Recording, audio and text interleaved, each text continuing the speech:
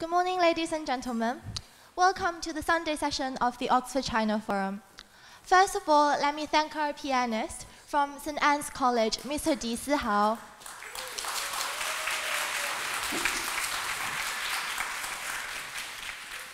Let's thank him for opening today's forum and the art and culture panel with the beautiful music from Chopin. I hope you're a little bit more awake and refreshed for what is promised to be a great discussion up next. Now, um, the art and culture panel will be held in Mandarin Chinese. In case there are those of you who don't know Mandarin Chinese that well, um, our booklet have detailed information about the speakers and the theme. And um, the good news is you're just about to embark on a really intercultural journey, and I hope you enjoy it. Now let's welcome our speakers from the Art and Culture panel.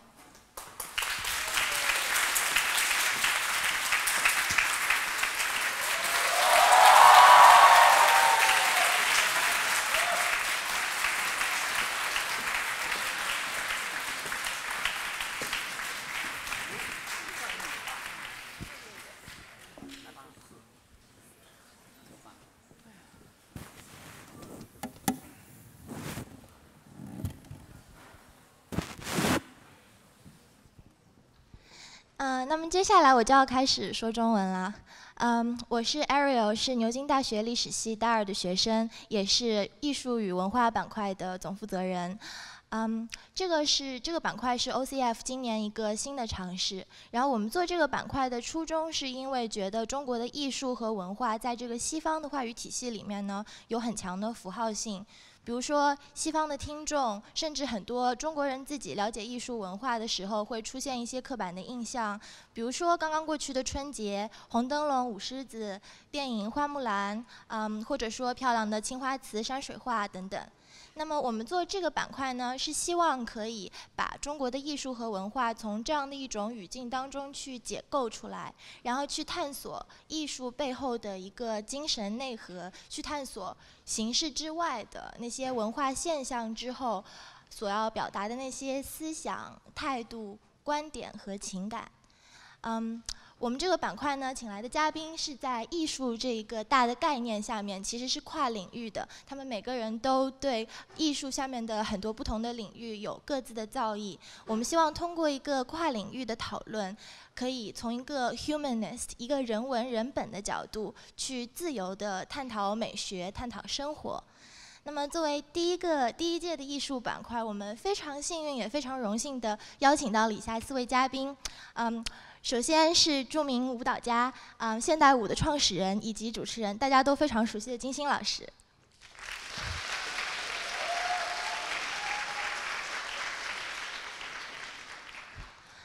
第二位嘉宾是中国著名的现代艺术家徐冰老师。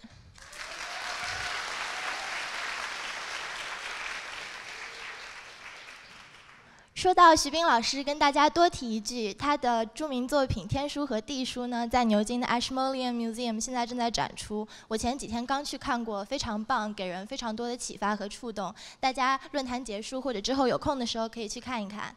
呃，我们的第三位嘉宾是呃旅法的著名艺术家蒋山青先生。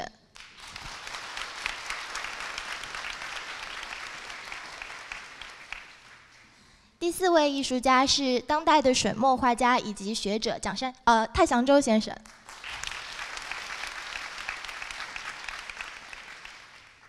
那么，为了让今天的这个讨论更加的精彩呢，我们特意邀请到了一位牛津的优秀校友来给我们当主持人，王天佑同学。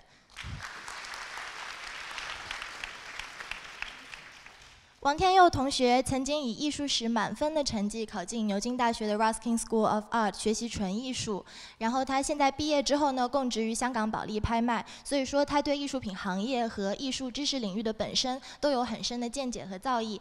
啊，那么接下来我就把这个舞台交给悠悠。谢谢，谢谢呃。感谢各位观众今天早上来来这边 Union 听我们这场这个艺术的讲座。呃，今天特别高兴呢，能在这个 Union 来跟大家分享，呃，特别是讨论一下艺术和文化的问题。我们今天的主题呢是这个艺术与文化的寻根和维新，所以今天我们在这里要为大家带来的是一场呃这个振奋人心的文化和艺术的交流。呃，去年呢我从牛津毕业了，现在也工作了一段时间，就是进入这个艺术行业之后呢，就发现呃周围很多朋友，包括很多外国朋友，都对我们的这个中国的艺术和文化领域呢抱有很大的期望，呃。中国的艺术和文化领域呢，现在处在一个前所未有的黄金阶段。那么过去三年中呢，中国的这个艺术市场呢，这个发展的非常的快，呃，包括有很多的艺博会也逐渐来呃中国扩大招商。比如说像我们熟悉的这个香港的 Art Basel 和 Art Central，包括上海的西岸艺术节和零二幺。呃，同时还有很多的这个国外的一级画廊呢，都逐渐的把他们目光呢聚焦在我们的亚洲艺术市场，呃，在北京、上海和香港开画廊。那么同样呢，从这个二零一五年开始，呃，中国的文化产业也是进入了蓬勃发展的这样一个阶段，跟着是二零一六年的和一七年的这两年的这个增速减缓。其实我们现在讲，尽管的这个中国电影的票房呢和这个电视栏目的收视率，经过了我们所说的这种过山车式的大起大落，呃，但是现在呢，其实呃，电影文化产业和娱乐产业呢再回归一个就是高质量制作的正轨。那么今天呃我们要说的这个艺术和文化娱乐产业呢，现在深受的是资本入驻的影响。呃，也有着这种娱乐致死和这个经济经济基础决定上层建筑的这种说法。那么今天我想从这个问题来开始我们本次的论坛。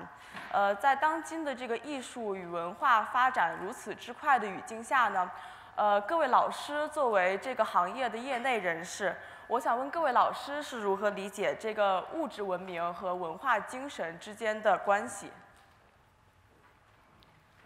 金星老师，你要不先开始？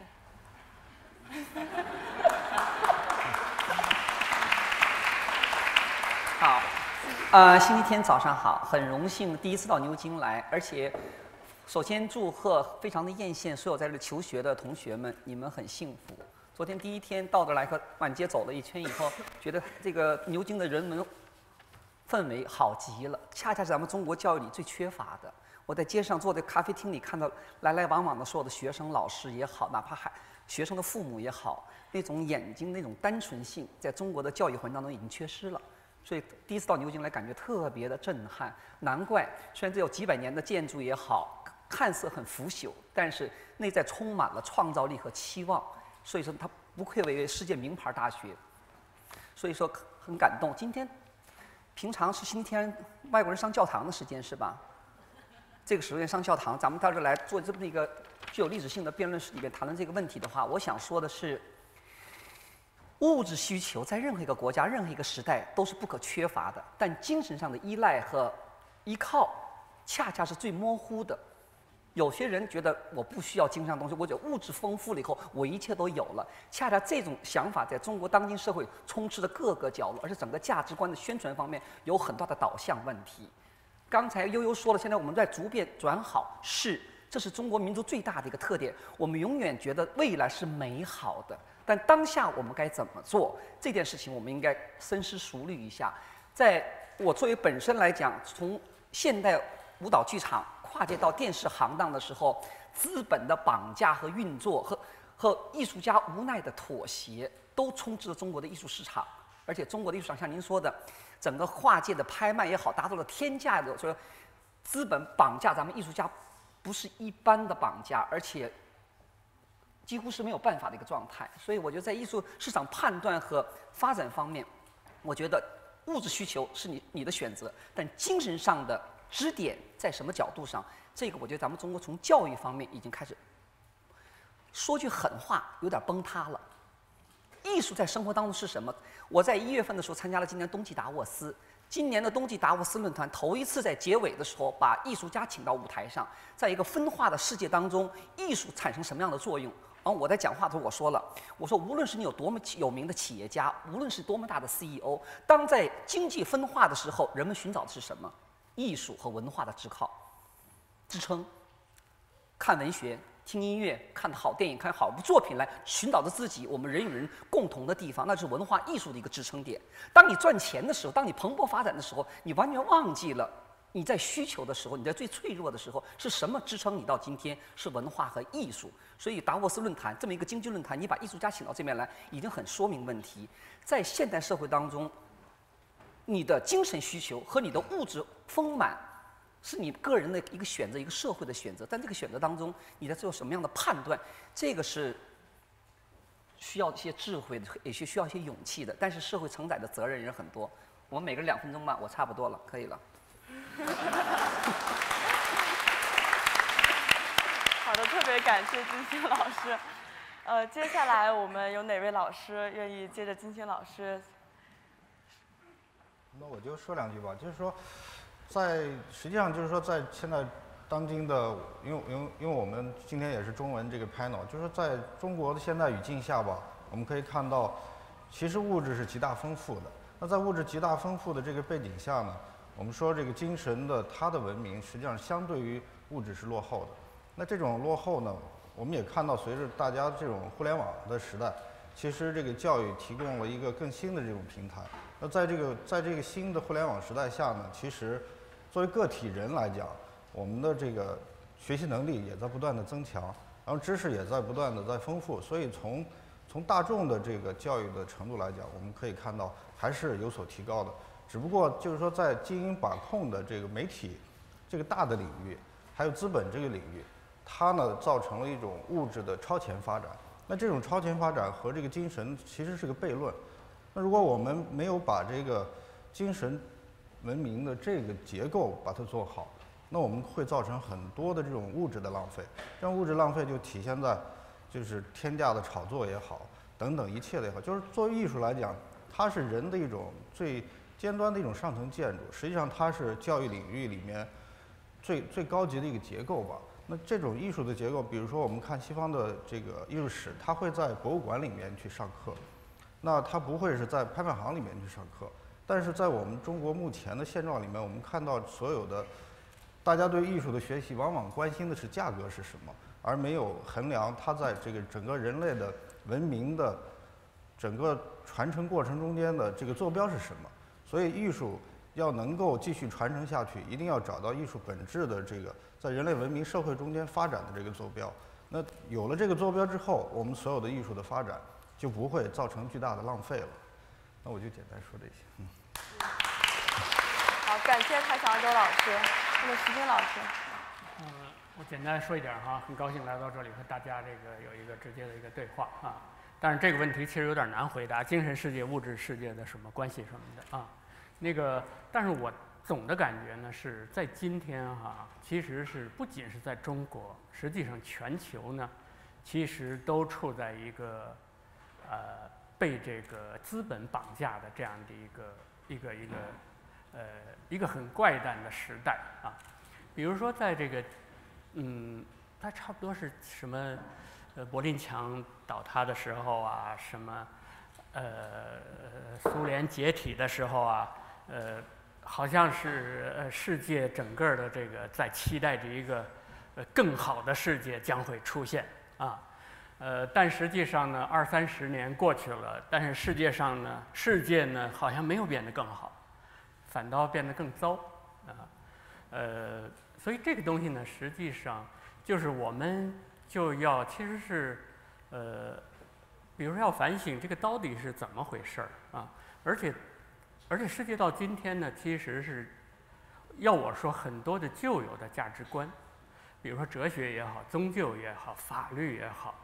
呃，包括各个领域，包括什么是艺术，嗯，就是说，人类探索艺术是什么，探索到今天，最后终于发现，终于进入了艺术是什么最不清楚的一个时代，呃，所以这个时候呢，呃，其实我们就要就要反省这个艺术到底能做什么，而艺术，呃，和这个就是说资本，呃。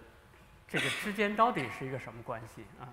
但是从我的经验看呢，这个其实在全球范围内，在这个全球的这个美术馆的和这个艺术评论、呃收藏等等这样的一个体系之中哈，实际上可以说内部的运转其实是很强大的，由经济的呃这个动力和这个权力在掌控的。嗯，对，呃，因为我们我们在这个很重要的美术馆看展览，呃，看到这些呃重要艺术家的个展等等，但实际上呢，在呃很大的范围内呢，全球的重要美术馆的展览，其实绝大部分呢都是由纽约的五个大画廊代理的艺术家所充满的啊，就这样的关系。当然，在中国呢，在中国呢，其实这个呃，就是等于是改革开放以后呢，其实出现了一个是当代艺术，再一个呢是出现了艺术市场啊。这个对中国的艺术的发展其实是有好处的，等于是中国在一个很短的时间内呢做了一个演习一样的，就是我们经历了一个呃这样的两个我们过去没有过的领域啊，但是。呃，在这样的一个这个这个呃呃年轻的演习的这样的一个关系中呢，那确实我呃不要说艺术，任何领域，当然也包括艺术，它确实要由资本的这个呃等于是呃整整体的一个向前滚动的这样的一个关系之中，艺术在这个之间找到一个找到一个调节或者找到一个缝隙再往前走动，它这么一个关系啊，所以这里面呢一定是。有各种各样的问题的啊，呃，这个比比如说这个，比如说这个对艺术的判断，嗯，对艺术判断呢，实际上最后，因为刚才我说了，当代艺术其实是无从判断，因为它是一个很年轻的领域，它是一个新的领域，它是一个不断的自我反省和自我颠覆的一个领域。那这个人们又对艺术呢，呃，总是带有一种这个敬畏啊，所以呢。呃，怎么判断艺术？呃，不要说专家，其实是，呃呃，一般的人其实很难判断为什么这个艺术是好的，你知道吧？啊，因为它太年轻，没有专家可以说它好。所以呢，能够大家可以判断的就是说，这个作品比那个作品贵了哪怕一分钱，也是这个贵一分钱的这个作品一定是更有价值，或者说更好的啊。它基本上这样的一种呃关系，我就说那么一点儿。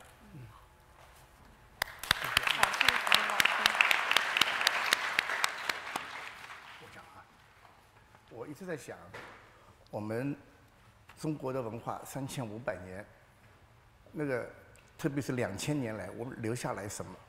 结果留下来的是唐诗宋词，留下来的宋元明清的那些大师的作品。那当年的那些首富，我们不知道他们是谁，但是李白、杜甫，我们人人都知道。所以最终历史。还是留下来的是文化，是艺术，是精神的东西。所以，我们我想想，平平时我们生活中其实不需要太多的物质的东西，有些东西是过就过剩的。比如说衣服有几几十件，皮鞋有几百双，没必要。所以我每天我是写日记的，我在反省自己，我需要什么？我需要吃的东西，面包、食物，不用太多，一个人。吃一点，然后就维持它的温度，维持它的热量，然后我可以思考，可以创作。所以现在很多东西，比如说外面讲啊，这个人有也买了多多大的房子，这个人有拥有多大的豪车啊，多豪华的汽车，这些东嗯没有不对我来说是一个很重要的事情。重要的事情是你回归到人性，回归到你本质的东西，回归很重要。所以我们往往忽视自己的内心。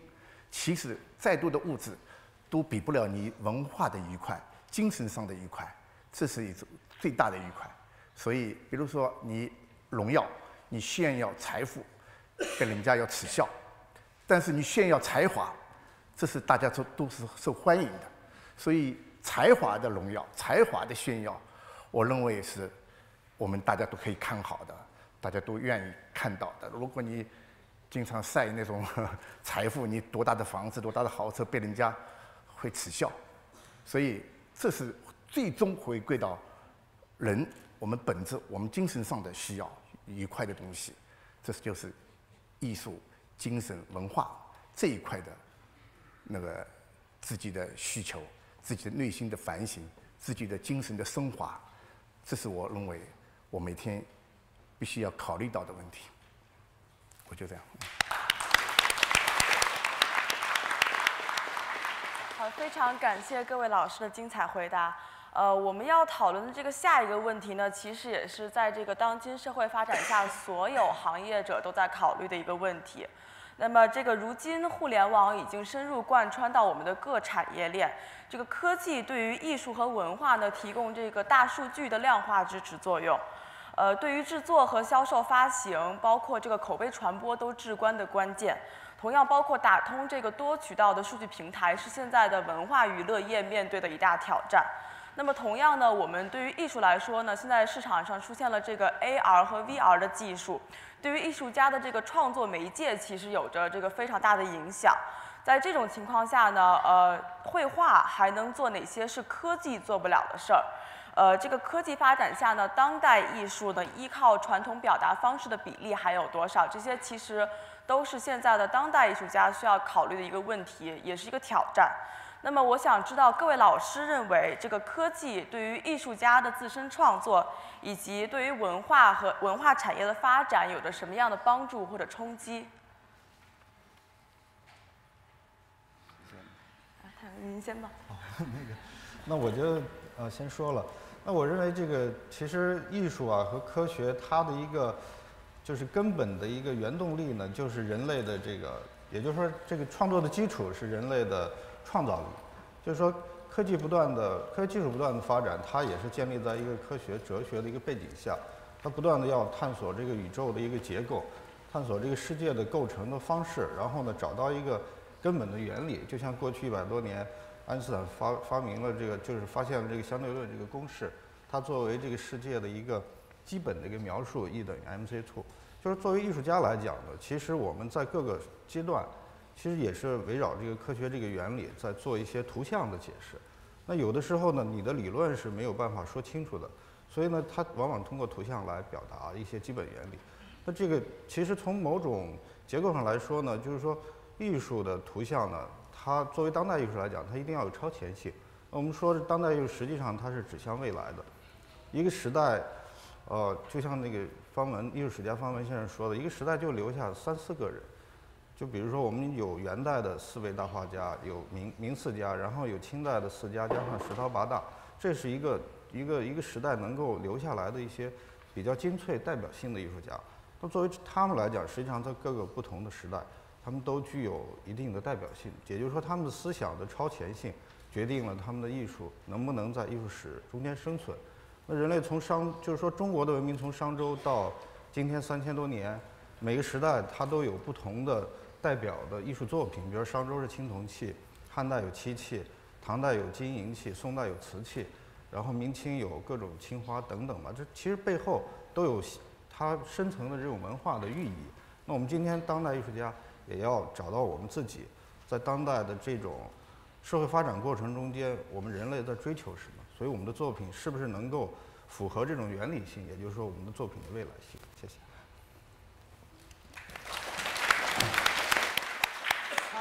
常州老师，好吧，那个关于艺术与科技是吧？这个问题哈，啊，我我谈一点我的那个什么，因为我是做实践的啦，艺术家总是其实一直在这个，呃，自己的艺术、自己的这个工作室的手里这活儿，怎么样跟艺术之间有一种较劲，你知道吧？啊，但是其实总的来说呢，我是，呃，我是觉得。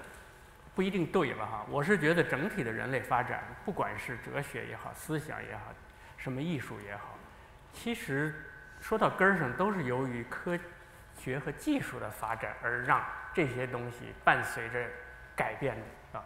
比如说，就说中国的书法，你知道吧？哈，书法的这种不同阶段的演变和风格的演变，其实都是跟着技术和材料的发展而出现的。比如说这个甲骨啊，那会儿没纸，所以就是甲骨文嘛。随后现在艺术，呃，书法家根据甲骨文的味道来，来这个辨别和这个追寻我们书法的根源等等。随后这个什么出现了毛笔，然后又在竹简上写字，后来又出现了绢和宣纸，又出现了这种呃书法的这种呃大师。最后呢，这个等于是硬笔出现了，最后又出现了硬笔书法啊。最后呢，现在硬笔书法都不用了，最后就是打字，打字机。打字机呢，它也是有这个打字的人的痕迹的。比如一个母亲对两个女儿的给她打的信，她是可以辨别哪个是她的大女儿，哪个是她二女儿写的。这也是带有书法的，呃，就是说这种情感传递的这种，或者说你的身心的节奏的一种，呃，记录的这样的作用。但是现在进入了这个这个数字时代，最后他母亲可分辨不了这个和这个是是哪个女儿写的。其实是因为是彻底把这个人这一点点的痕迹给呃给弄没有了。当然这里面还有一点点的痕迹留着是。就是这个女儿和那个女儿选择字体的不一样，而可以判断她对字体或者书法的判断，或者他的喜好和情感寄托在这样的字体上和那样的字体上，这个书法成为一种选择。对一般人来说，当然书法艺术是另外一回事儿啊。呃，当然再回到这个科技与艺术这个事儿呢，实际上我是觉得，呃，因为我的艺术呢，其实一直在这个。这个跟踪什么呢？跟踪这个艺术、呃技术、科技，不是科技本身，而是对科技对我们人的思维的改变的，呃所反映出来的现象啊。我觉得这那个东西对我是有价值的，嗯，嗯。但是呢这里面其实有一个有一个问题，就是说，呃，艺术家或者艺术领域都意识到科技。将会对我们未来的艺术产生影响和作用，嗯，所以很多艺术家呢就开始尝试和使用高科技来做艺术，但是到现在为止呢，呃，在我看到的这些科技艺术的展示中呢，或者科技艺术的作品中呢，其实很难找到真的很有分量的呃科技艺术作品。我们看到很多科技展呢，实际上。真正有兴趣和吸引人的是，呃，是像科技本身给我们带来的乐趣和有意思之处，你知道吧？哈，很多艺术展就像科技展似的，大人孩子看着挺来劲的啊。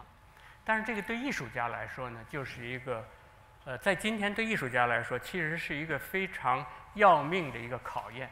就是说，艺术家，你的艺术的理念和你的艺术的部分。到底是够不够强，而与科技的部分，到底是能不能形成一个较劲的一个关系？这种较劲就是说，哪怕你的意识的部分在百分之五十一的那个一，你只要有这个一，你的艺术，我觉得就是有价值的，或者多少带一点未来性的啊。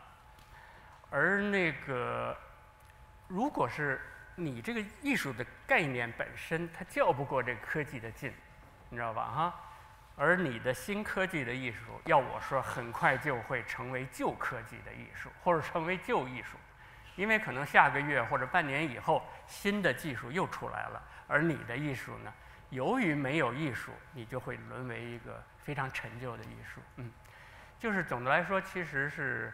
因为在几年以前，我在 MoMA 呢，纽约的 MoMA 其实参加过一个点儿 com，就是点儿 com 之后的艺术的展览。它的副标题就是说，当今的艺术家是如何应对新科技的挑战的这么一个主题，啊，呃，这个展览呢，其实我展了一个什么东西呢？就是我那个地书的对话软件，就是说地书，呃呃，就是你打英文也好，打中文也好，最后都会变成，呃。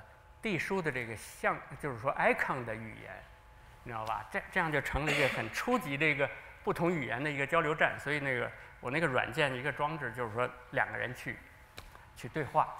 但是其实很多人很喜欢这个作品，但实际上呢，我觉得这个作品里头是有问题的。问题就在于我为什么要把这个互动软件搬到美术馆去，让大家坐车坐地铁去美术馆去玩这个软件？其实呢，在科技的发展到今天，这个软件其实在北京、在纽约、在北京和肯尼亚之间就可以完成这个软件。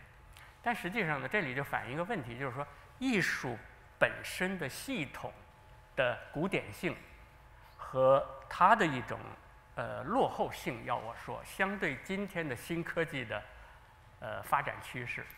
因为呢，古因为美术馆艺术系统，它其实还是一个呃呃像城堡似的，像教堂似的，大家集中过来来完成一个仪式，来看展览。而科技的未来的科技呢，它基本上是发散状的，就是它是去中心化，它是发散状的，嗯。所以呢，就是呃，这其实就涉及到一个，就是说我们整体上作为艺术家，其实应该是不断的反省我们的创作。和我们的这个艺术，和我们被认为的人类的最了不起的艺术，到底与科技之间到底是一个什么关系？知道吧？这是我说的，谢谢。嗯。好，蒋老师。我一直认为是这样的。我们看艺术作品，其实就是一个灵魂感动另外一个灵魂，就是我们从自己。去接触对方的作品，去发现对方的灵魂，那么让你感动，或者让你泪流泪流满面，这就是艺术的功效。那么，所以所谓好的作品是让你感动，让你有思考，或者让你有启发。所以我们回过头来过一年、两年、三年，回过头来，我从前喜欢那个作品，再回头再去看，它还是让你感动，每一次都让你感动。而且随着你的年龄的增长，你的感动、你的感触、你的联想会不一样。那么，我认为这是好的作品。有很多作品呢，现在是这样的：你走过看过了，你再也想不起它要去看它了。那么，这种情况现在当然也很多了。好的作品相对还是比较不多。所以，比如说我们写书法，那么一个笔道。就是这一根笔道，就体现了你一个人的灵魂的心性。所以，笔墨它本身就是一种力量，它本身就是一种内心的体现。所以，看作品，我们并不是一定要看它的画了多像，画了多多美，就主要是看你的内在的东西，它让你感动不感动。所以，比如说我们现在刚才讲到科技，科技其实很好玩的东西。但是科技越来越发达，我们觉得我们原来，我们我们的生活会时间越来越短。比如说，从前没有科技这一块的，那么写一封信，一封信传达到你手上，家书抵万金，哇，拿了一封信，感动得不得了。那么这封信你可以保存起来，保存起来。现在科技发展了，我们的时间空间。就是我们跟世界的接触的，就是很很快很短的，就电报都不用拍了，微信发一下，那么你这信也不用写了。我们我们放弃了自己原来的那那套传统的，我们认为是一种一种美的次序、审美的次序，就是那个精神体系、文化体系。那么这是科技带来的方便，所以其实我们我们可能。科技发展以后，我们的人人类到了地方更多，接触的人更多，谈恋爱也更快，是吧？手手手机微信，是吧？一下子可以把你的意思表明白了，甚至你发一个发一朵鲜花，发一个心，你很好像很暧昧，实际上也表达了。那从前不是这样的，啊，从前是你一定要要很长时间，这个恋爱是一个很漫长的过程，那么当然也是感情也会比较牢固，呃，也会不会随便分手。因为大家都很珍惜，所以呢，科技是有好的东西，那么也给我们对文化带来的冲击，啊，我是也是这么认为的。但是如果有一天科技可以把我们这一生还原，那么你在临临终以前把自己这一生的过程可以看一遍的话，那是非常让人感动的，非常觉得这生命的过程是很有意思的。所以，当然这是我的想啊，将来如果啊，我人家说那。你这个命运这本书没让你打开，让你看，让你看了以后，后来后面怎么过呢？但其实他们说这本书早就已经定成了。那么我当然我们搞艺术的相对比较唯心主义啊，所以我一直相信，呃，这好玩的东西在你的一个生命的过程里面。所以随着文化，随着科技，都是我们现在人所碰到的那些问题。正好我是六十年代生的，所以我们赶上了那个新旧交替的那个时代。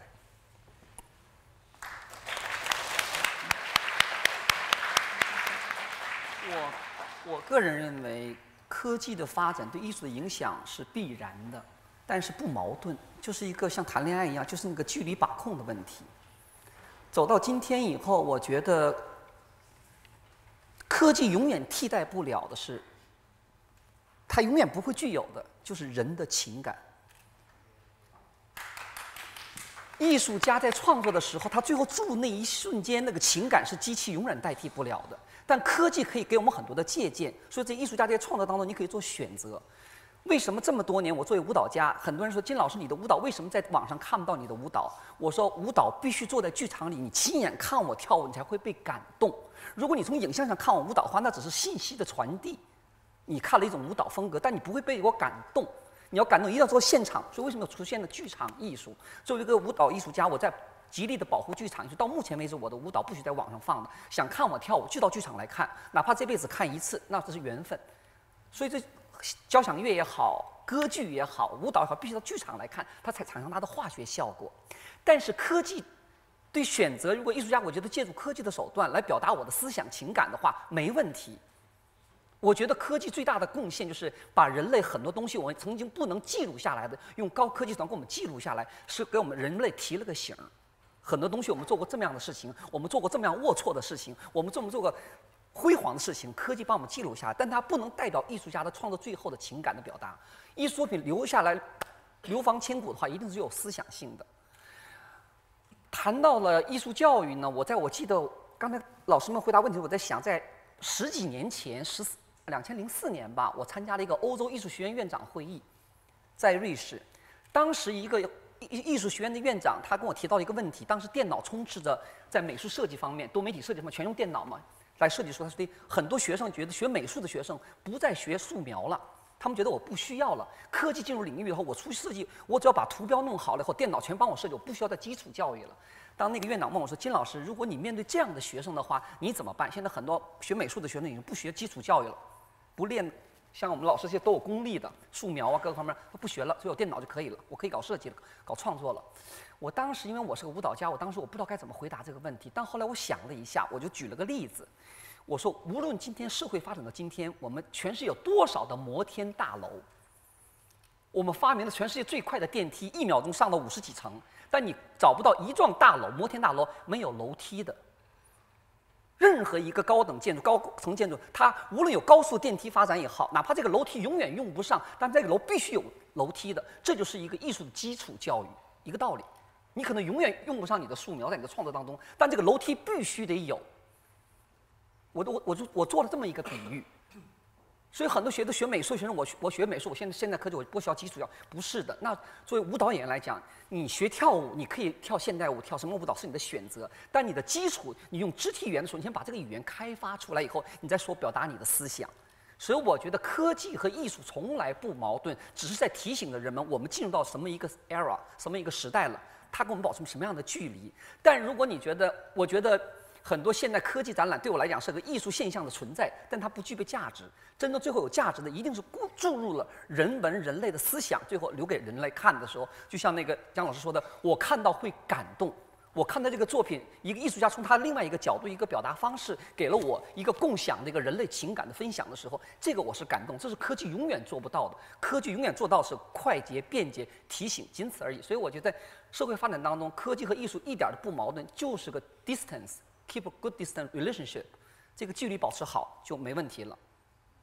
这是我的方法。感谢各位老师。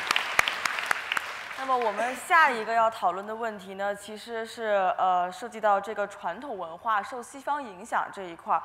这个问题呢，一直以来都是说呃我们现在中国的当代艺术家这么多年都在探索的一个问题，也是一个挑战。那么反过来呢？现在呢，逐渐有一些艺术的新思潮在考虑的问题是我们中国的这个当代艺术怎么能走出去？那么我想请问各位老师呢，你们认为中国的当代艺术如何能最好的输出到国外？徐老师。这这这个是国家的事情。怎么样最好的？你刚才已经说了，不光是什么耍狮子啊、大灯笼啊什么这些东西，嗯，确实是，呃，但是我觉得其实这里面还是有一个，就是说，呃，我们自己到底有什么东西，或者说我们的文化中到底有什么东西是有价值的啊？其实从我个人的经验呢，就是说，比如说在九零年时候刚去美国的时候，我那时候呢一心想着。要成为一个国际艺术家，或者说和世界接轨的艺术家啊，呃呃，这个这个，我当时带了很多在中国的这个过去的这种版画、社会主义现实主义，那会儿我都藏起来不让人看的，因为我让人觉得我天生就是一个当代艺术家，就是跟你们是这个可以对话的啊。但实际上呢，呃，你工作时间长了以后，最后别人会开始觉得这个人东西是有意思的，嗯，呃，从而呢他。们会想，这个人从这样的一个社会环境中过来，为什么他的他的思维的艺术的方式是有一种特殊性的？这里有一些东西呢，好像是他们搞不懂的，所以他们就开始了解、关注你过去的背景和历史啊，所以才把过去那些旧作品给翻出来啊。这个东西让我其实有一个对我有一启示，就是说，这么多艺术家其实去纽约或者去。伦敦这样的世界的当代的中心城市，为什么有些艺术家的东西可以被认可或者说被关注到，有些就不可以？其实这里关键就是说，你是否可以通过你的艺术，把一种东西带到今天的当代艺术或者文化领域？嗯，而这个你带去的东西呢，其实必须是什么呢？多多少少是大于这个领域现有思维范畴的，或者说能够对这个领域的一些缺失和盲点的部分有调节和补充作用的。只有这个时候，你东西才有价值啊啊！因为因为其实任何文化哈，包括我们的中国的文化和什么西方的文化，各个文化其实都有优质和劣质的地方了啊。但是呢，就是说，就是而且这个每一个文化，其实在每一个发展阶段呢，就是人类文明的发展阶段，其实它是，呃，它是它是轮着起作用的。嗯，比如说我总总举这个例子，我就说这个，呃，咱们的这个中国文化中的这种和自然的关系的这个文明，其实是非常优秀的。嗯，但是在一二百年以前呢，其实这个这种。价值观，或者是这种天人合一的思想，或者敬畏自然的思想，其实是不受重视的。为什么呢？因为当时整体的人类文明，其实都是在做工业文明，或者说是在这个改造世界的这样的一个解决人类整体的吃饭的问题、生产的问题。所以这个时候呢，比如说你你整天说这个天人合一什么的，是吧？啊，顺应自然，我什么都不做。那其实就是一个落后的思想，在当时那个人类文明的发展阶段上，但是这个人类文明折腾到现在，最后呢，就是出现了一种，就是说我们的人人类文明和这个和自然之间出现了前所未有的紧张的关系。这种紧张关系，关系到人类是否能继续生存的一个问题。那这个时候，同样的一个传统的我们的文化思想，天人合一的思想，就成了一个。对今天最有启示性和对未来最有启示性的最前沿或者一个当代的文明的思想，是这样的一个关系。就是说，一个文化中的东西的价值，其实是在一个大的一个流动的关系中来判断的，啊。那这就回到一个什么呢？就是说，我们到底把什么东西，就什么东西是我们的真正的这个文明中的呃中国的软实力？你知道吧？哈，嗯，那这个东西对我们的启示就是说，实际上我们中国到底有什么样的最优秀的东西，是可以补充和调节人类文明发展到今天的盲点的地方和有弊病之处的地方的。嗯，我觉得其实我们应该把这种东西带给世界，共同参与一个未来的一个人类的算是什么？呃。人类这个命运的共同体的一个新的文明的建设，这是我觉得我们应该应该给世界的。好的，感谢徐斌老师。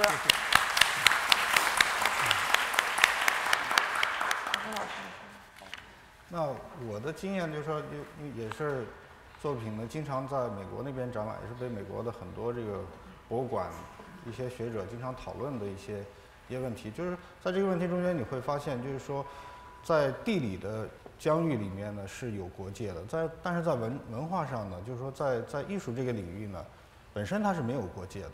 它的它的不同性呢，就是说体现在不同的语言。不同的思维这种结构，就像我们今天这个论坛呢，是用中文来讲的。也就是说，作为你出生在中国的这个中国人来讲，你的母语系统是中文的系统。那你作为艺术创作来讲，你可能更更直接的就使用最最熟练的，就是毛笔。就是如果是画画画画的话，可能就是毛笔是最熟练的一种工具。那在这种工具使用过程中间呢，你可以去创造出来跟你这个文化相匹配的一些作品。那这些作品呢？因为我们是人，其实作为人类人来讲呢，他的他的这种终极的思考，其实有非常大的相关性。尤其是在互联网这个时代，我们可以说没有一个人是就是独立能够存在的，一种文化也不是能够独立存在，它这个文化都是相互交织在一起的。那它的互相影响呢，不是说照抄跟模仿，而是怎么样回到一个人类生存的一个共同的基本原理。那在这个基本原理之下，你创作的这些作品才具有这人类的共性。那那它这种共性呢，从更深层一层的意义来讲呢，就是说还是一些人的对于未知世界的一种基本的追求，一种探索。那你的作品，就是又回到一个问题，就是当代艺术是什么？当代艺术就是它一定是指向未来的。那指向未来，它有两种形式，一种呢可能是科技的表达。还有一种呢，它是解释了一些人类的基本原理。这种基本原理，就像徐徐斌老师的天书也好，或者地书也好，就是在我来看，它可以回到一个，比如说上古时代，它还有价值。为什么？就是它的所有的基本元素，就是当你这个，如果如果我们这个人类的社会没有电了，我们要重建这种文明，其实它都是用一些非常基本的元素来构成的。就像我出生在宁夏。那宁夏有这个西夏文字，西夏文字它的创建只有短短的三年，短短的三年，它构建了一个文明的一个基础，而且西夏当时它的文化和这个北宋的文化是有非常大的这种相关性，同时它对这个对整个这个就是吐蕃、西藏这这一代的文化的发展都都产生了巨大的贡献，而且我第一次看到徐云老师天书的时候，我就我就有时候我就会联想到这个西夏的文字。这种联想呢，我觉得就是说，其实徐冰老师发现了人类在艺术史上或者说在文明史上的一个一个文明初建的一个基本原理。那这个基本原理呢，也许艺术家本身没有没有这么深的感受，但是，一旦在在这个社会演变过程中间，他这些作品一定会成为人类文明史上的一些典范。这是我说的。我说啊。咱们是谈中国文化输出是吧？对。中国当代文化的发展、现代艺术发展，我觉得功不可没，是西方人做到的，咱们中国人自己没做什么。多少中国的当代艺术家、画家也好，音乐家也好，都是在墙内开花墙外香。本人也在列。我在两千零，我从九八年学习现代舞，九四年回国，啊啊，八八年学现代舞，九四年回国发展现代舞。后来在一直到两千零五年之前，我都是在海外频频演出，国内几乎没有现代舞演出的市场。外国艺术家、外国所有艺术家请我去演出，都觉得中国我现代舞像，我说我在国外是个舞蹈皇后，在国内跟后妈养的似的。后来我没办法了，我说不能做一个，咱们中国现在有很多的，尤其是 fine art，就画家行业，有多少几乎百分之八十甚至到九十的现代艺术家们，在海外火得一塌糊涂。那那个那个那个画卖的好极了，国内老百姓谁知道他们存在呢？很少，除非是你关注现代艺术，这是中国文化现。所以中国的当代艺术、现代艺术发展是西方人做出的贡献，因为他想看到现代的中国在干什么。但咱们中国的文化输出呢是什么问题呢？是咱们上层建筑是管理的问题。这句话比较敏感了啊，说到文化部官员了。你对现代艺术不感兴趣，并不说它不存在。你不懂，但你可以请专家来。没有说这么多年来，中国的文化输出全是。我经常说，看有一次一个他们经常听我讲话，可能我表能讲吧。谈到了就是中国的文化现象，我说中国文化现象是个三明治状态，把时代的艺术创作压在最下边，在这个创作上面是什么呢？五千年的沉重文化。当领导们不懂的时候，就会说你这个创造东西跟咱们中国传统文化有什么关系？用它来压制你。我们在五千年的传统文化上面压制什么是宣传体系，propaganda。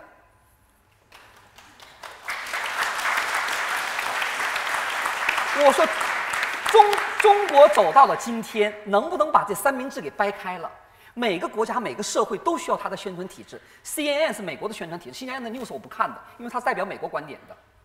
每个国家都有宣传体制，没问题。你把宣传放到一边儿，然后文化传承和保护咱们重点保护，然后给一个现代艺术创作的空间，这就好了呀。每个时代它一定要产生它的艺术家和它的时代感的作品，但是咱们中国文化恰恰是一个压一个，一个压一个。咱也不能怪那些文化官员，他不，他胆子小。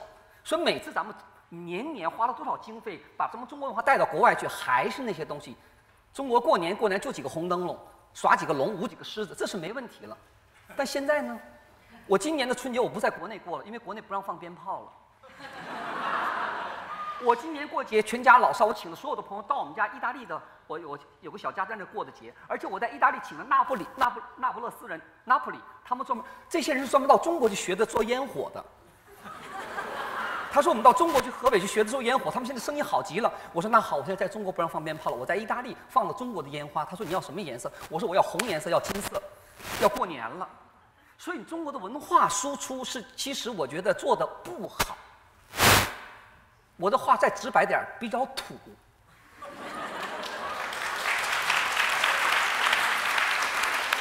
真土。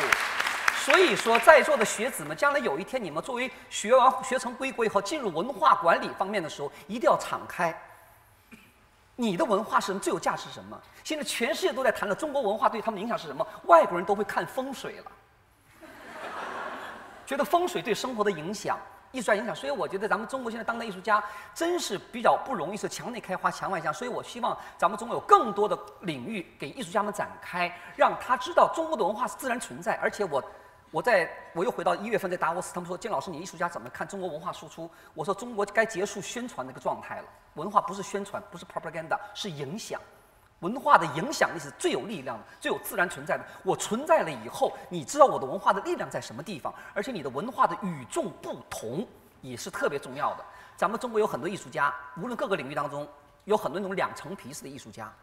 怎么讲呢？他的作品在国内根本看不到，在国外他是讨好西方人的胃口创作出来的艺术品，卖得很好，但在中国是不具有任何文化价值的。但没问题啊，生存嘛，生存是唯一第一切。所以我觉得，真正的艺术是我在我自己的国家内，我的百姓看到了中国现代艺术发展到今天是什么样子的，我们什么样的艺术观点去思考，去表达我们的社会思想。同时，我告诉西方，中国发展到什么份儿上了？有人说，金老师，你的现代我已经不现代了。我说没问题，那是属于我的舞蹈。你认为我的舞蹈属于古典舞的话也没问题，因为我代表我的思想，我把我的关注、观察通过的舞蹈肢体语言呈现在舞台上。至于它是否现代否，是否是后现代，这对我来说不重要，我的呈现是最重要的。所以现在曲线救国呀，做了个副业，做了个电视，赚了点钱，干嘛呢？我就 我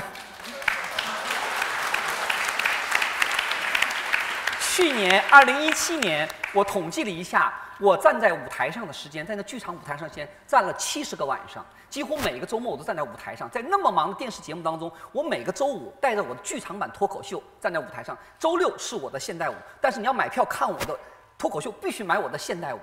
他说。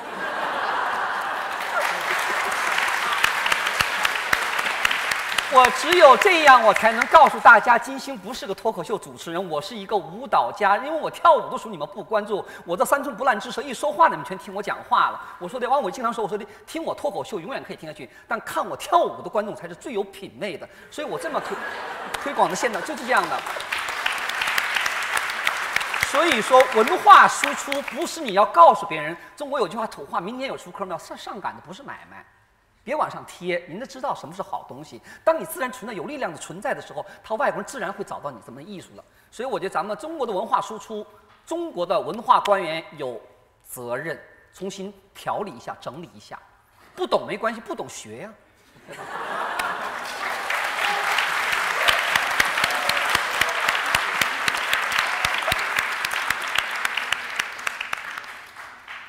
我一直认为这个文。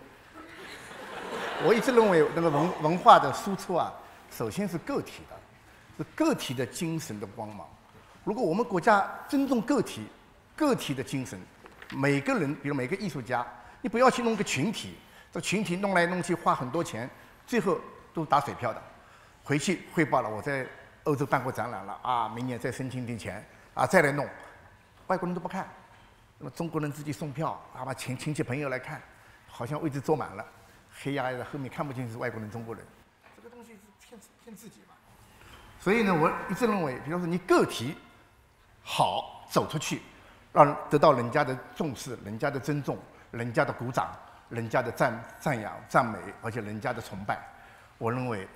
这是一个非常重要的一个过程，所以，我我是很晚才去法国的，我是差不多二零一零年第一次去巴黎，我在零九年的时候碰到一个意大利老头，意大利老头跟我讲，我喜欢你的话，然后呢，意味着什么呢？意味着我喜欢你，欧洲有很多人会喜欢你，你要去，你从来没去过吗？我说没有，那我听了他的话，我就去了，去了以后呢，第二年呢，在那个意大利的古根汉的搞一个研讨会，搞一个小型的展览，结果意大利人排队来表扬我。我说：“哎，欧洲人就随便表扬人吗？”他们说：“，不是随便表扬，他真的喜欢你。”哦，我才开始有点信心了。哦，这样可以啊，一个人就可以把事情做好，把事情做好了就会赢得他们的尊重。所以呢，不不一定要需要那么群体，需要官方很多推出去，往重点往文化走出去。个体生命的光芒，个体精神的光芒，是很很有力量的，很有作用的。它的影响可能甚至还大于群体，是这样。所以中国呢有很多好东西的，传统以前水平很高的民间的东西都都很厉害。比如说吧，以前画那种庙堂里面的画，根本不需要打格子的，他们加个架子搭上去直接就画。画慈禧太后。弄一个民间最厉害的工匠去，头低着，眼睛闭上，不能看。在慈禧太后坐上面，你能看吗？不能随便盯着她看的。然后眨一下眼睛，啪一睁开，就那么一秒钟，把眼睛闭上，送出去，回去就去画，画出来一模一样。你能你能改你能画的不一样吗？不一样要杀头的。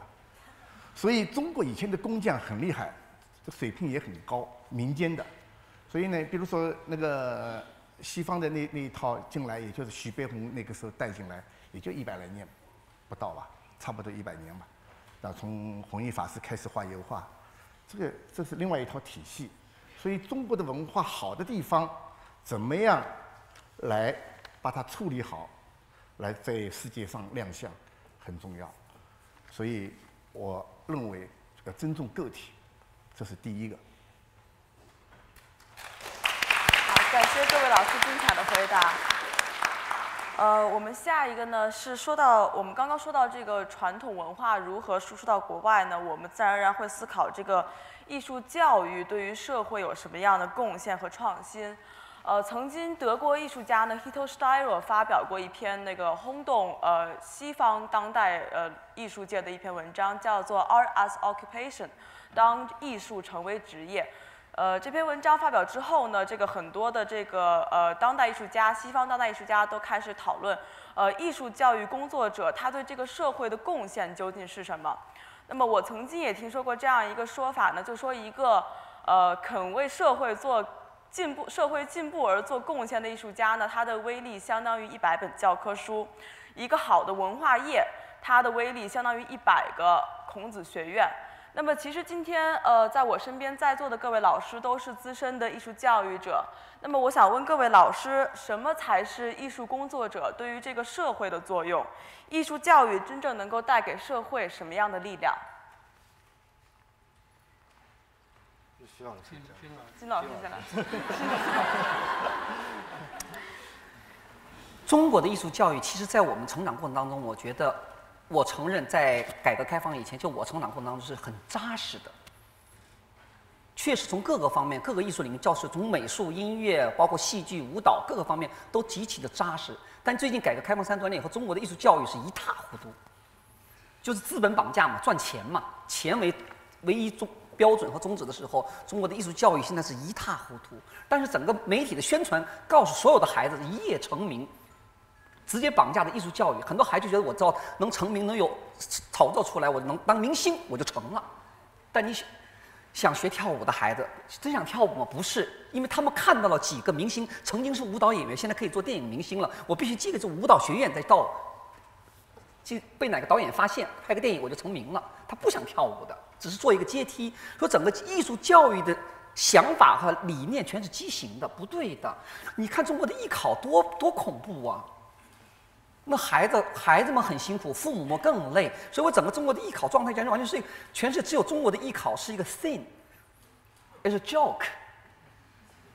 孩子不学了，所以我觉得艺术教育，当我来讲，我今我只能举一个小例子。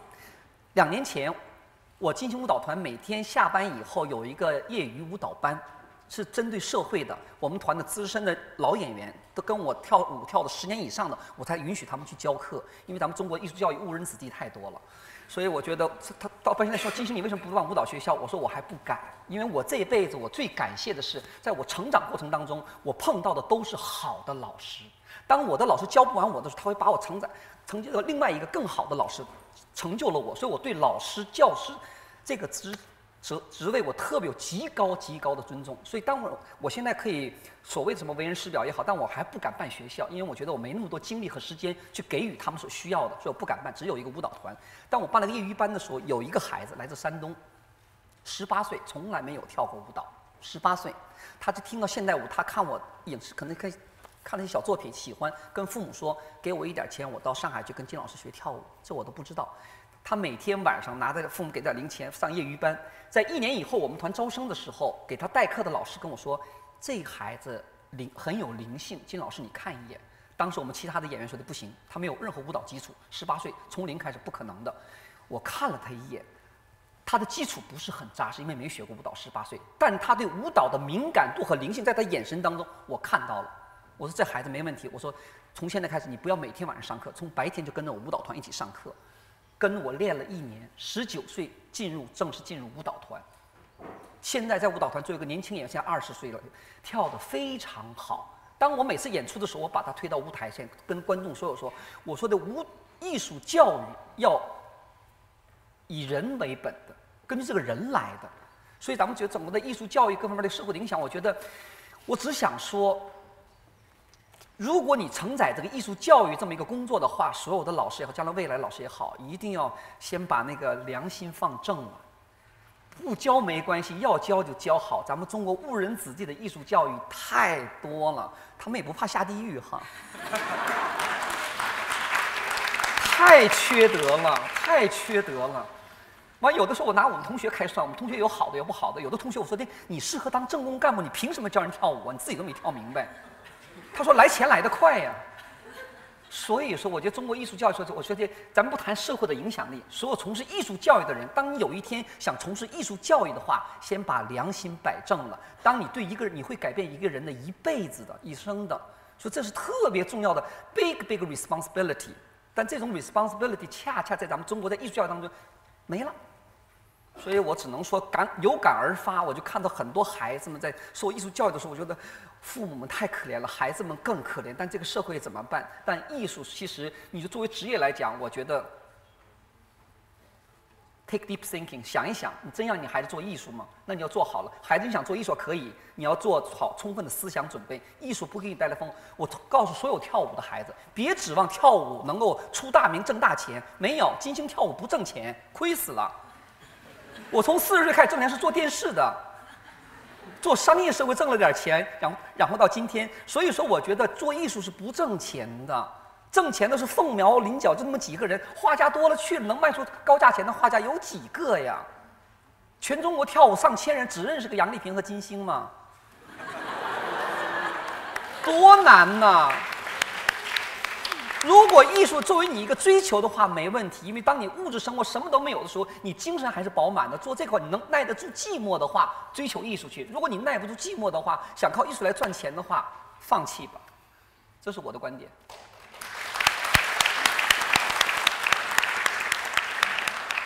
我也我也很赞同金老师这个观点。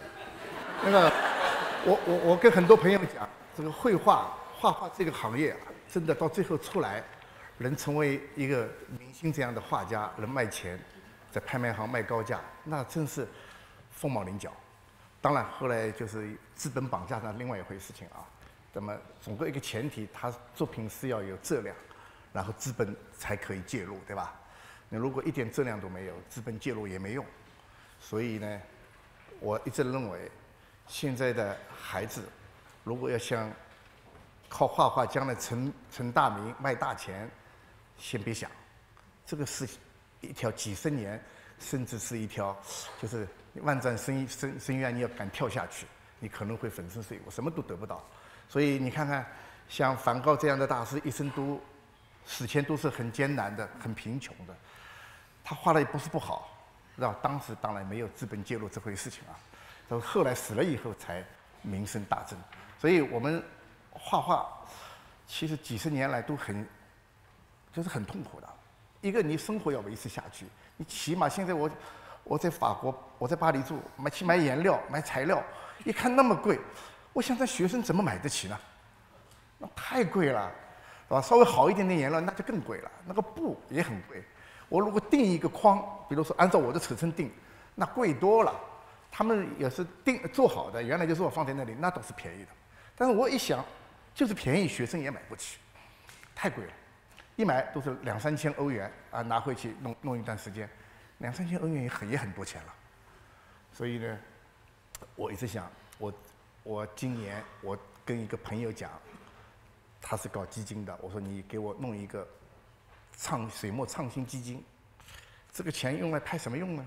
我准备每年招五六个学生，这五六个学生呢，我用另外一套方法来带他们，就是我们用民间那一套方法，比如说扎染、拓印，然后拓树叶，对吧？那个拓石碑啊这些东西，然后来从当代艺术上面来切入。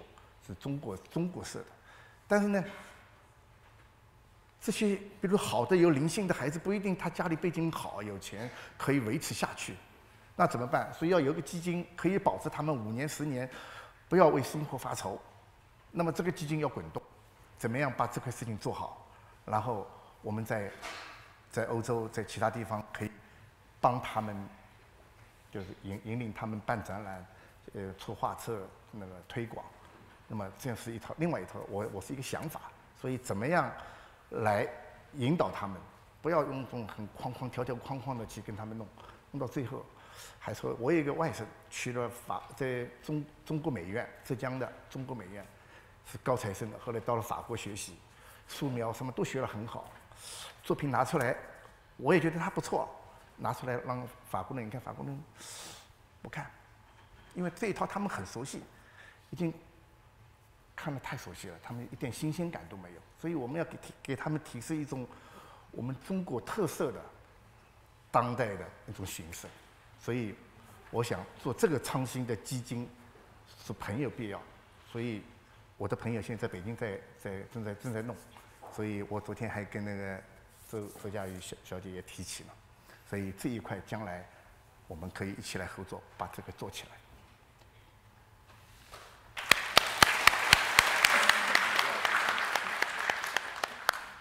艺术教呃，艺术教育其实这个呃，确实它这个的呃问题很多，你知道不知道从哪儿说这个东西嗯，因为我确实也是，比如我出国之前就在中央美术学院教那个古典素描，就教了十年，嗯，后来在国外呢，其实也是跟肯德大学有接触，然后十年以前我又回到中央美术学院啊，呃呃，对教育呢，我其实是这个呃是是其实有一种那个个人情结啊。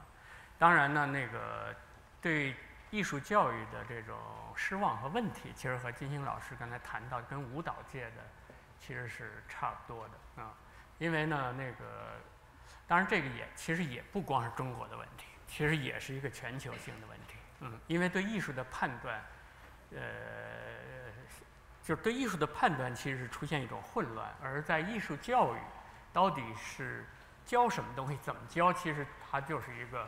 因为艺术都搞不清楚什么东西，这个艺术到底怎么教？其实它就直接涉及到一个一个思维的一个制约啊。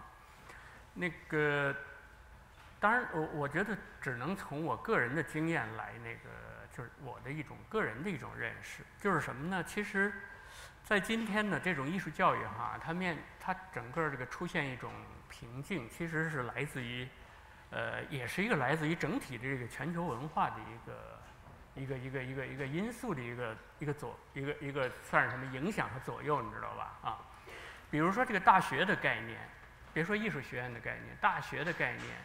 这个像那个牛津这样的著名的大学，什么中央美术学院没有这么著名，但是也算是一个重要的艺术学院。但是这些艺术学院，它的这个围墙，就是说这学院到底它的它的这个范围应该在哪儿？其实，在今天都需要重新来判断，因为因为我们每个人的这个手机，其实就里头这个承载的信息和知识量，相当于好几个牛津和好几个中央美术学院。你知道吧？啊，和好几个博物馆和好几个美术馆，你知道吧？那作为这个大学，过去的大学是传授这种知识和传授人类的文明的这个最最呃呃最有价值的和最前沿的部分的思想啊。那今天呢，这种东西，他的他这个老师，就作为一个老师，我们面对这些学生或者说第二代人，我们到底能给他们什么东西？呃，这个东西确实是都和我们古典的那个关系其实是不一样的。因为我带那个博呃硕士生和博士生，现在只带这个博士生。呃，其实我包括我回到中央美术学院给年轻人做了很多展览。其实做展览的过程中呢，其实我呃，其实我是其实一其实，在做做这展览过程中，其实我一直在反省我。这一代人和他们的距离在哪儿？但是总体上，我是感觉我们其实是不如他们的。嗯，因为呢，确实年轻人其实就是代表未来的。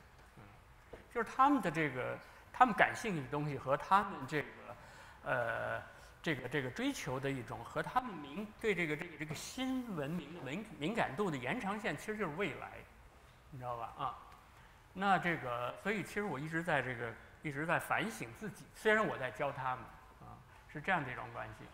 当然呢，这个又说回又说回来什么呢？就是说这个，那作为一个老师，我到底能给学生什么东西？最后其实说来说去，特别是艺术教育，我觉得其实它的这个难处就在于啊，其实这个难处就在于真正的艺术的核心的那一部分，其实你是没法教的。说来说去都是在围着这个核心的部分在说。我不知道金星老师是不是体会这个东西，就是教不了的，就是说这个东西是教不了的，就最核心的那个东西是教不了的。但是呢，嗯，你确实有能力，这个，呃，就围着这个东西说，最后慢慢的把这个学生怎么样引导到一个好的一个，就是说一个宝藏的开口之处。实际上，你看，我我我跟他们的这种，我的这种教学，其实就是说，其实你平时跟他的谈话，你通过他的一个眼神，你通过我们在一起讨论艺术是什么，你知道吧？哈，你都可以判断这个学生他他到底是一个什么样的人，或者说他的真正的长处和他的不足之处是什么，然后怎么样转换他的不足之处成为。他特殊的东西，而是别人没有的，或者说是他这个人这个学生，他到底想为艺术付出多少？其实都是这个是作为老师不断的要跟他这个不断的这种探索探索。最后，其实老师作用就是说你，呃，任何人都是一个宝藏，就是说你发现他这个宝藏从哪儿开始挖，可能是你能够做到的。他是这么一个这么一个，就是老师的作用这个东西，而且。其实，作为老师最终的一个够不够资格，其实在于你这个老师的作为人的质量。其实后来，我当时为装美术学院我们做过一个素描六十年的展览，当时我就让那些呃画这个件作品的这些人回忆当时那可能六十多年以前、七十多年以前、十多年以前的作品，让他们回忆，就是说在画这张作业的时候，你的一个场景和老师跟你。交流之间的最有、最值得这个、这个、这个跟别人分享的地方，后来我发现，其实没有一个人回忆火化这张素描的时候，老师告诉了他什么样的技术上的解决的问题，而是老师说了一句话。这句话呢，实际上是和艺术本身没关系的，特别是和技术没关系的，而是对他后来的一生都是有影响的。我觉得这才是作为一个大学的老师，呃，我觉得是必须的东西。你要没这个东西，你就不要在大学教书啊。而特别是在今天这个时代，呃，一个老师、一个教授的价值，你没这个东西，你。你根本没法教学生，因为学生获取知识的渠道实在是比你的能力强多了。嗯，他是，呃，这是我个人的一个体会了，这样的。嗯。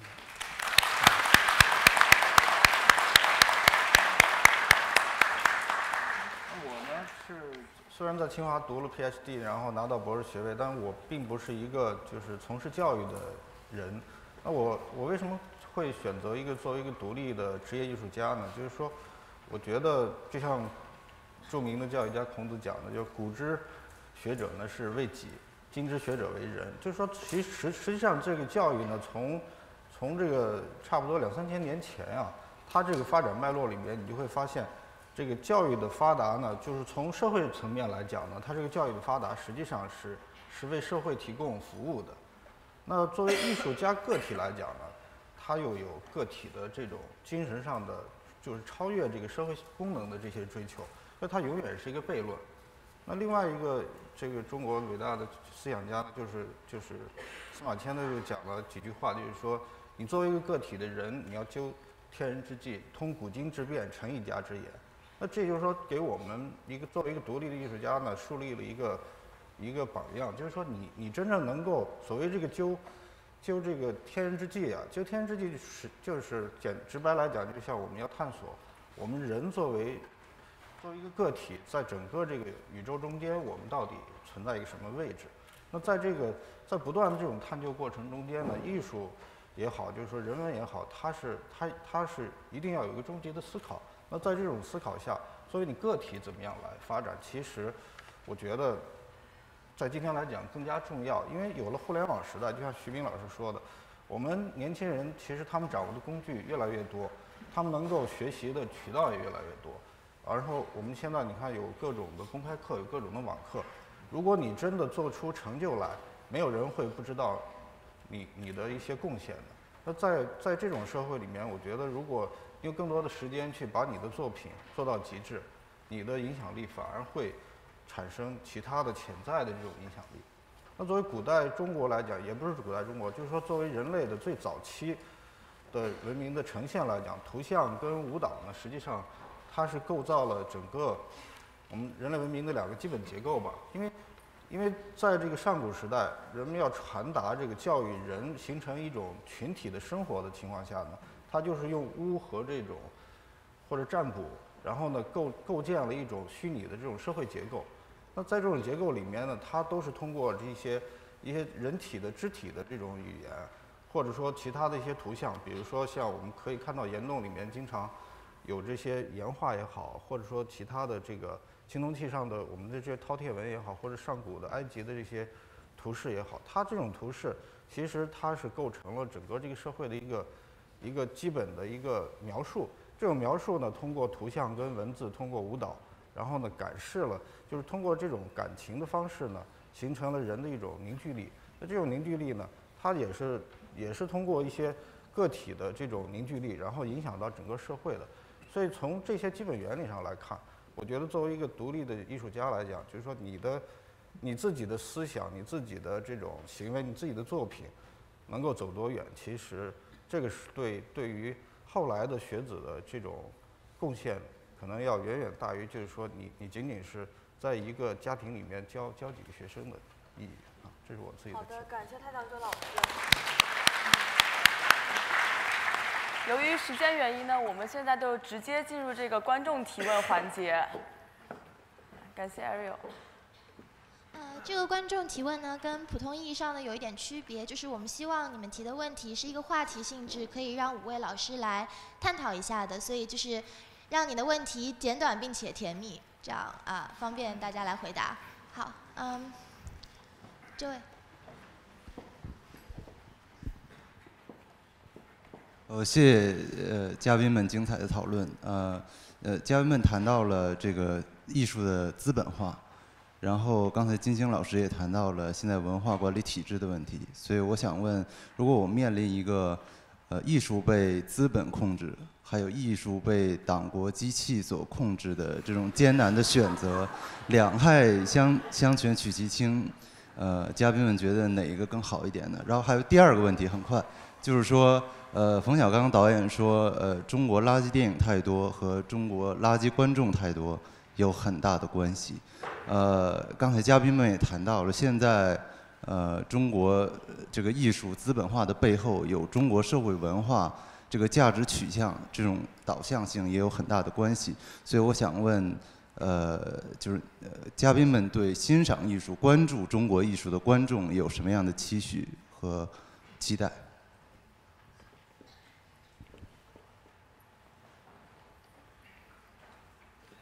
金星老师，金星老师，一问一问到敏感的话题，都推到我这儿来了。反正中国最敢说的就我了。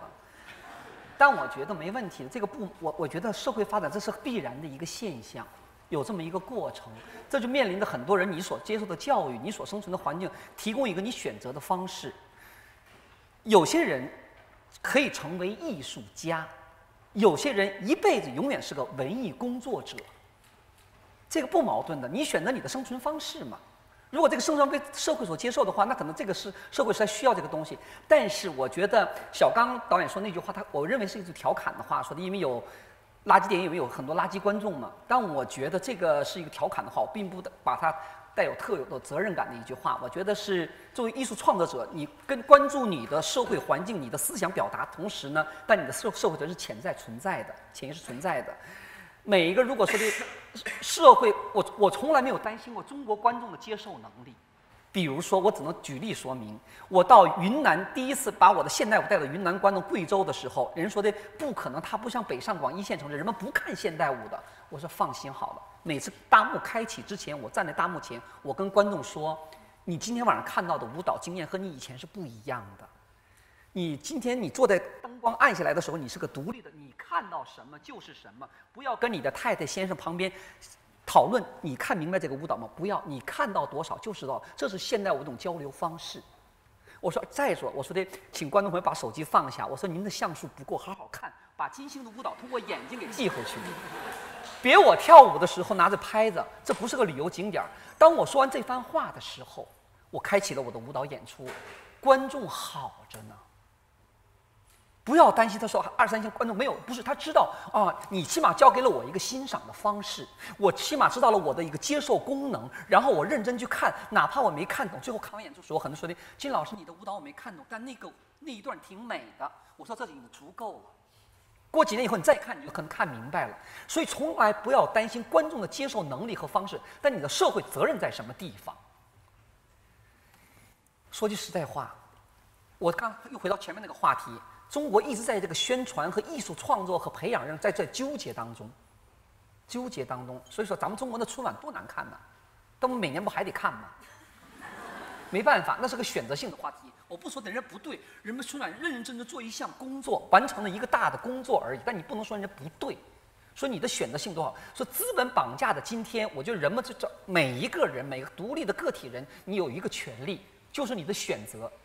你可以选择这么去做，但我可以选择我不看，这是每个人的权利。我在微博上说，你可以选择不支持这部电影，我不看这个东西，我可以选择，我有我的选择，这是咱们社会进步的一个很重要的，我有我选择权利。所以我觉得，在这个资本绑架社会是一个过程。现在很多，既然您能把这个话题搬出来的话，那说我们的海外的游子也好，中国很多年轻人都在思考这个问题：我们在被绑架多久？我们在被绑架的过程、无奈的过程当中，我们有没有选择的自由？有。比较难，但是还是有，所以我觉得这是我一直对生生活社会一直抱有很乐观的态度。我觉得在最难的时候，你还有选择的权利，不听不看不接受，让它存在自生自灭就好了呀。市场谁谁弄起来的？市场所有人都有责任的呀。你的八卦、你的背后的聊天、你的传递、你的转发都有责任的呀。不能简单说啊，这个什么他有出来的，你你有没有责任呢？都有责任，拒绝嘛。你产生接受，就是我是被动接受的，你也可以主动拒绝。这是你可以作为选择的，所以现代人有这个功能，有这个权利，你干嘛不发挥呢？所以不要责怪社会，中国社会发展今天所有的事情是必然产生的，但最后结果是谁来承担？是我们每个人都要承担这个结果，无论从经济上、文化上、艺术上、教育上，我们都要，所有中国人谁也逃不了的。你可能展开避开了，但你的子孙后代继续严惩的，因为你这辈子就他妈是个中国人，你躲什么呀？脏话都说出来了，对吗？就是谁也逃不脱的。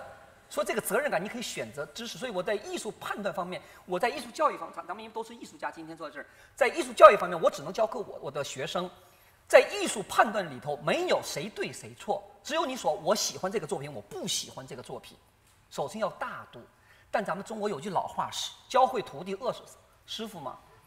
很多中国的艺术教育方面，很多的老师自己不自信，他不允许自己的学生超过自己，与众不同，跟自己不一样。所以中国的艺术教育最后，学生们写那个论文多可怕呀！他的老师境界就这么低，他强压着自己学生比自己还要低，怎么可能呢？所以说，刚才徐冰老师说了，现在我们好在我们有个多媒体现代社会进入现代的节奏，我们可以表达自己，哪怕我有小创作，我通过表达自己，社会这就是社会的机会。所以现在的年轻人要比前几代人更好一些，有更多的机会了。你可以学会选择和判断。所以我觉得资本绑架也好，什么也好，这是必然存在的中国现象，有一个乱的过程，尤其艺术教育方面，但会好起来的。所以年轻人能做到的是选择、拒绝、接受、排斥，完事儿了。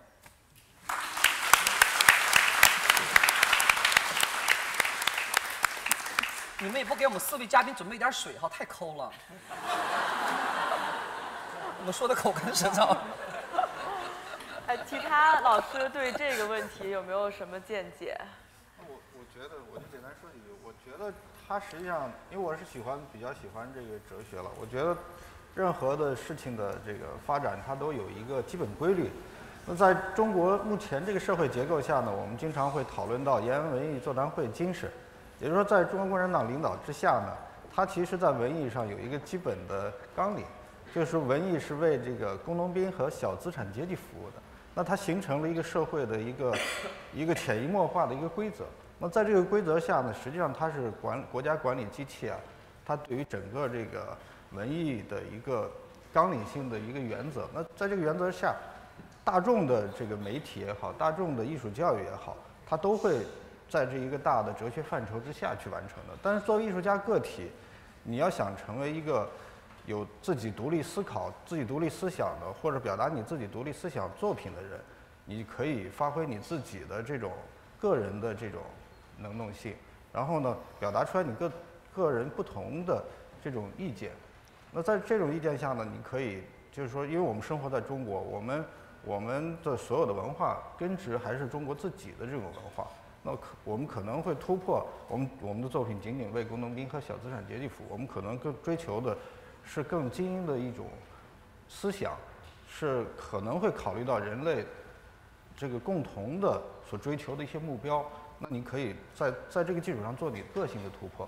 但我觉得作为大众的这种基础的媒体，或者说大大众的这种文艺的这种普遍性的教育来讲，这个这个原则。在执政党的情况下，他会有他的一个考虑，这个跟我们个体之间呢会有一些差异性，但这种差异性在现代社会中间它是共存的，这就是我的一些简单的认识。好的，感谢蔡长林老师。那徐冰老师，呃，这个问题呀，其实还是一个一个自己的选择。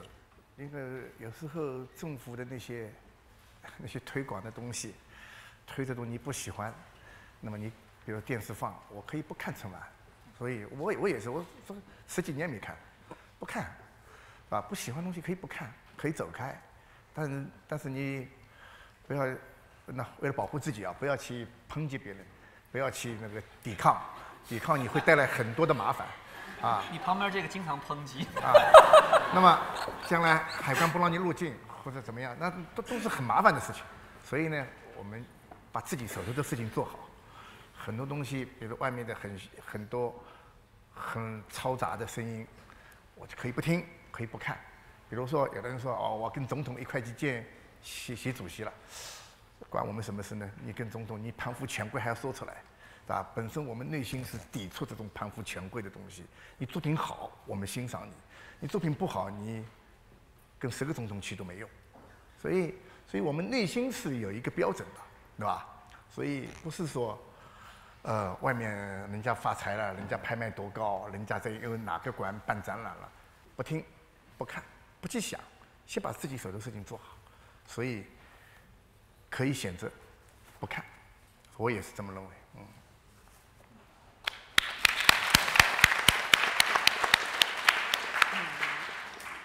好像每个人都得说一点哈啊，那个我我倒是觉得什么呢？就是说，呃，其实很多东西啊，我是觉得。其实我还是喜欢在一个全球范围内来看一些事儿，你知道吧？比如说哈，比如说这种、这种、这种什么呢？就是说这个，其实任何的东西哈，任何的这种价值观里头啊，它确实都有它的这个不足的地方，但是也都有它的这个有特殊价值的地方，你知道吧？这个东西作为，比如说作为从中国长大的这样的一个，在这样中国的一个社会主义环境下的。成长起来的艺术家，其实他其实天生啊，我觉得确实有一种能力，就是说，怎么样在这样的一个环境中呢，把这种环境转化为一种特殊的东西，而而用于你的艺术创作啊。比如说这个，就说这个，就说这个这个这个艺术为人民这个事儿哈，嗯，其实要我看，而且是特别是我在西方工作这么多年以后。我开始对自己的这个背景哈，一个是传统文化背景，一个是我们的这个社会主义的这种早期社会主义试验的这种背景，包括改革开放以后的背景，呃，跟西方交流的这对接的这样背景，这些东西其实真的对我们来说，真是一种特殊的养养料，而是我们好像活了好几辈子，就是在我们的思维中呢，其实有很多的参照，是其他的文化中没有的，或者说我们同龄的当代艺术家他们没有的啊。那比如说这个，那这些东西就是我们身上携带的。你说你都否定掉，那你什么都没有了。嗯，所以我其实，比如说哈，我其实，在参与当代艺术创作的时候，其实我其实对当代艺术的一个地方特别不满意，就是说它与一般人的关系，就是这种那个和一般人的关系这种错位，你知道吧？啊，这个东西其实是我在西方工作的时候特别不满意的地方。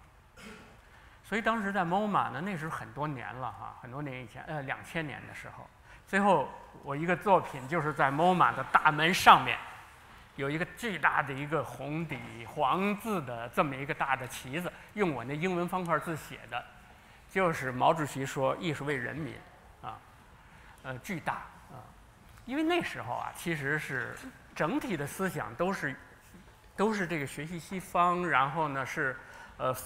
是什么呢？好像是要掩盖我们的自己的一种特殊的一种，呃，社会主义背景的啊。但实际上，恰恰这个东西呢，真的让我对西方当代艺术中的弊病，其实特别特别敏感，你知道吧？啊。后来我就说，其实啊，作为一个艺术家，不管在什么时候，或者说不管多先进的、多前沿的，呃，这个这个艺术观念。但是艺术为人民这个思想呢，我觉得不管在什么时候，其实都是对的，你知道吧？啊，就这是我的一个态度了哈，不不一定是那什么啊。那而且这个东西让我其实让我的作品呢，一个是就是说来自于，其实这说来说去就是毛主席最早那个在延安文艺座谈会上讲话说的“艺术源于生活，艺术高于生活和回馈于生活”这概念呢，其实这个。讲话本身有它的局限性，但是就这个概念，其实我觉得是对的，你知道吧？这是我自己的认识，嗯，而且我觉得对我是有帮助的。它是这么一个东西。其实这个人呢，他必须要要这个客观的面对自己的一个身上所携带的基因或者文化基因到底有什么东西，你知道吧？啊，这是我我的一个态度。我在这儿呢，想举一个例子，就是说，比如我的老师，大家可能不太清楚，古元先生。一个木刻家，古元先生，你知道吧？啊，古元先生是解放区的一个呃木刻家，这是其实是很了不起的了啊，我觉得很了不起的。当然，版画呢有一个特殊性，就是说，呃，这个版画它有复数性嘛，但是你得有这个编号的，就是说在西方整个的版画的体系中，就是说你这张作品刻出来以后，你要制作多少件，比如说三十件，是吧？你有编号三十分之一、三十分之二，然后在市场上它就可以有一个信誉和一个流通。但是那时候我们那会儿呢，其实做版画呢，它没这个概念，就是说因为那时候也没有市场，所以呢，就是说一张版画就印三件，一个是给美术馆展览，一个是给出版社，有可能杂志社给你发表，另一个自己留着。这个当时呢，有一些外宾去去这个访问这个古元先生，我的老师，因为外宾呢就很，其实西方人就很注重，就是说你这件版画到底印多少件。你知道吧？然后有一个市场流通，怎么样和呃一般的收藏者见面？就是说，或者容容他们拥有。后来你知道古元呃这个古元先生说了一句什么呀？他是说这个人民需要多少我就印多少。这句话其实给我很多启发，你知道吧？嗯。呃，我觉得这样的一个境界，我觉得这样的一个境界，我不能说它是。局限的或者愚昧的，啊，某种程度上，它比这个，就是说这个，这个一种，就是说这个这个这个人类的知识产权和人类的智慧如何和如何真正的到达为人类的呃进步服务，知道吧？这个问题其实马克思早就说到这个问题，啊，但这些问题在今天呢，其实都是一个。在今天的这个全球的资本主义的这个呃这样的一个大的关系中，其实都是需要我们重新反省的。嗯，呃，总的来说就是说，我自己其实是一直在一直在琢磨，就是说我们身上到底带带着什么东西，而这些东西怎么样使用。嗯，这是我的态度。好的，谢谢各位老师。嗯呃。